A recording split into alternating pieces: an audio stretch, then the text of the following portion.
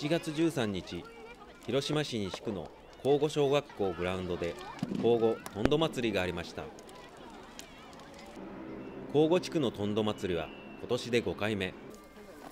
住民が参加できるイベントを開催し地域を活気づけようと交互地区社会福祉協議会が主催し地元有志で作る交互地区平成会が昨年11月からお祭りの企画と準備を行ってきました。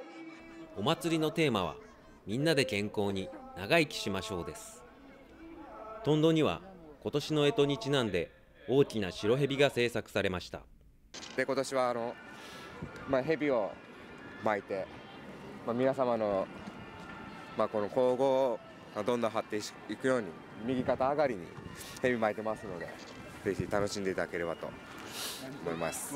今年で5年目になるんですが、まあ、もうどんどんずっと毎年10年20年と交互のメインの行事になるようにこれからもどんどん頑張っていって、えー、どんどん盛り上げていきたいと思います。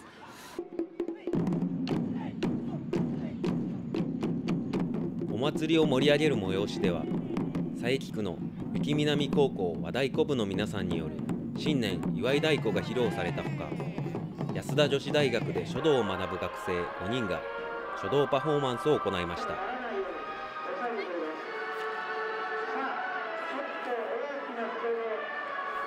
地域の皆さんが見守る中学生たちは新年を祝う寿を中心に熟語になる文字を配置した書と春をイメージして作ったという詩をダイナミックに書き上げました。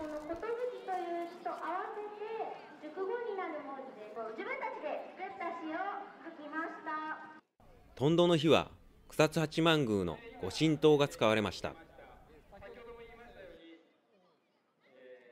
この日はとんど祭りの当日に実行委員のメンバーが交互地区の発展を祈願しいただいた日で会場まで大事に運ばれました。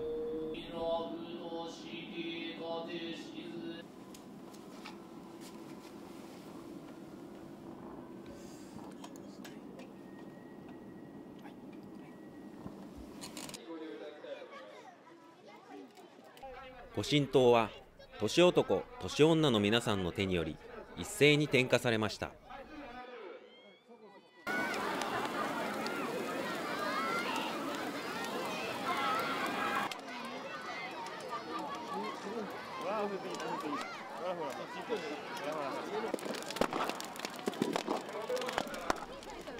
訪れた皆さんに今年の目標を聞きました。いっぱい友達ができて楽しい年にしたいです。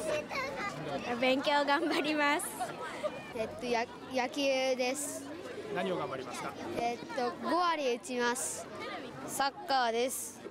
目標は何ですか？えー、レギュラーになりたいです。